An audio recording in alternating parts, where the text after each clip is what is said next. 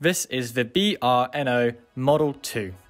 As you can see, it's a 2-2 long rifle chambered bolt action rifle. The company is now owned by CZ, however, and you can see similarities between this gun and the CZ 45222 rifle. Now, this gun specifically that you're seeing in these clips here is owned by my shooting club, which I've recently become a part of, and I've been shooting this gun solidly for about a month now, and I just want to give my overall sort of views on it and how I feel about it. So let's talk a couple of tech specs now. So of course this is a bolt action rifle and this rifle comes with a 5 round magazine. However you can find 10 round magazines for these if you have a look around. This specific one has a roughly about a 24 inch carbon steel barrel. However, some models range from 16 to 28 inch barrels, but this is the sort of standard one. And of course, the standard gun therefore weighs in about six pounds. So it's not a super heavy rifle, it's quite a nice weight to hold. And you know, if you're using a bench rest or anything else like that, it's pretty comfortable. Now the barrel does have a thread for the sound moderator to go on the end to keep the noise down. And it does have an adjustable trigger, so you can change that as you will. The wood, as you see on here, on the foregrip and stock, is beech. However, some models do come with walnut if you can find them.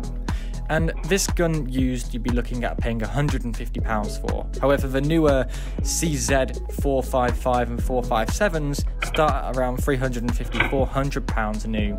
However, they are the synthetic versions and don't come with the wood on the foregrip and stock if that is something you are looking for. Now, a couple of things to note here. The scope you see on the gun is a cheap budget scope that the, cl the club uses as a way to get new members involved and obviously learn about the rifles. This gun is therefore owned by the club and not myself, and so it must bear in mind here that the accuracy of this gun might be a little bit compromised as it hasn't been cleaned in a while and probably not cleaned properly, or as somebody would clean it probably at home looking after their rifles. However, this has not stopped the gun, in my opinion, achieving pretty good results. Um, so I've shot this good at 25, 50, and 100 meters relatively, and they have been pretty accurate shots, as you can see on screen. I'll put some groupings on there right now. You can see that I've shot this both from elbow rest and bench rest positions, um, not standing just yet or not prone either. And these are the groupings I've achieved in my circumstances, which I am very happy with. And on these days of shooting as well, it's about zero degrees Celsius, it's pretty cold, and I tell you, I wasn't wearing cold weather gear, so I was a little bit shaky on the hands but I'm pretty happy with how it's worked, and especially the age of this gun as well, and how it's holding up, and especially because it was never an expensive gun to start off with, it's really doing a good job. Now, the club has owned this gun for quite a few years now, and I believe it's one of their main guns they use to train new members on basic bolt action and 2-2 rifles, as you must do a probationary period here in the UK by the Home Office, requiring three months worth of like weapons training to understand how the weapon functions, making it safe, and so forth. So this is what they chose. And honestly, I think they made a very good choice. It's a very nice gun, and if you're looking nowadays for a very budget orientated pest control gun or a very simple sort of rifle shooting, uh, you know, 2 2 rifle target gun, nothing serious, however, then this could be a gun for you, especially coming in around £150 used, and there's quite a lot of these on the market, or any other CZs as well around the time of manufacture of this, uh, seem relatively reliable.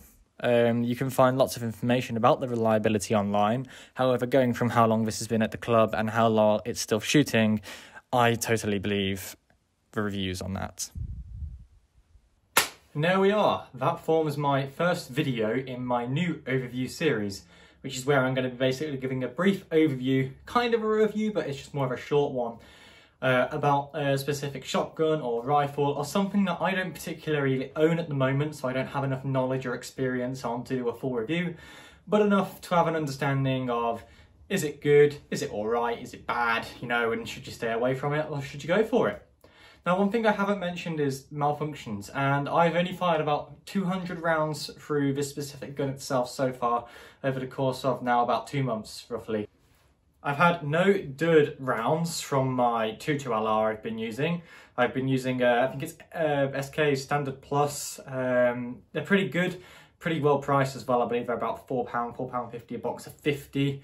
Um, really reasonable rounds that I've had no issues with putting through at all. And the ejector or any of the other parts on the gun that are likely to fail, uh, have not either. There have been no jams, nothing stuck in the barrel, um, no misfires. So overall, the reliability so far I've experienced is pretty good and it's certainly something, or at least a CZ firearm, what I'm looking to put in my cabinet over the coming months. Now thank you for watching this video.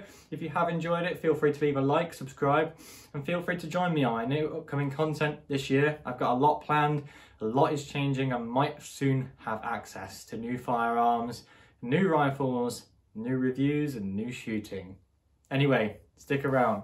See you there.